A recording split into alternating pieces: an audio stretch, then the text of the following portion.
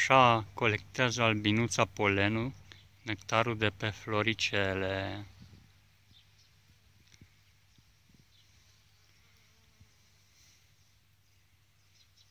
Iată ce frumos adună albinuța.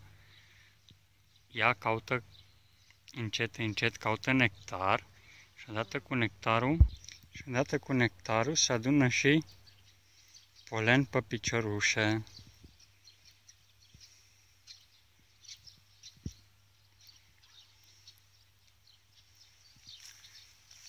Totodată avem și un fluturaș care și ea caută hrană.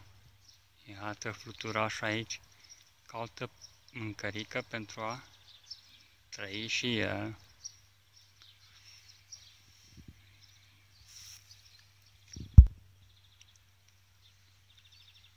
Iată, sper să se vadă albinuța cum culege nectar, apoi polen. Foarte frumos. Cam așa lucrează albinuțile pentru câteva grame de polen.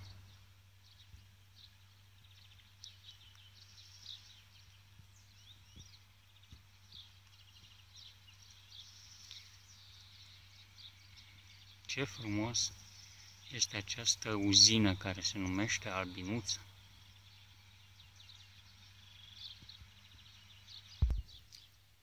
Iată o imagine și mai spectaculoasă cu albinuța și cu fluturele în aceeași cadru. Foarte frumos.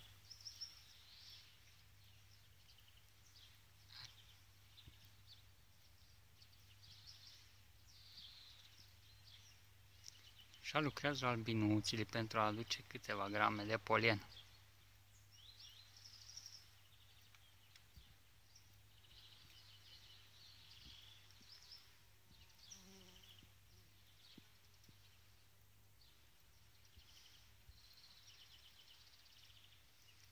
Iată s-a așezat acolo pe o altă floricică.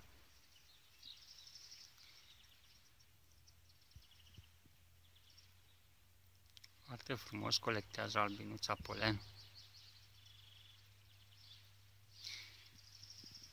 După ce albinuții culeg polenul, după aceea vin acasă și îl pune lângă, îl duce înăuntru în stup, venind de la flori încărcate. Avantajul acestor albinuțe este numărul lor. Fiecare albinuță merge și lucrează. Numărul lor fiind foarte mare, vor aduce o cantitate destul de mare de polen la stup.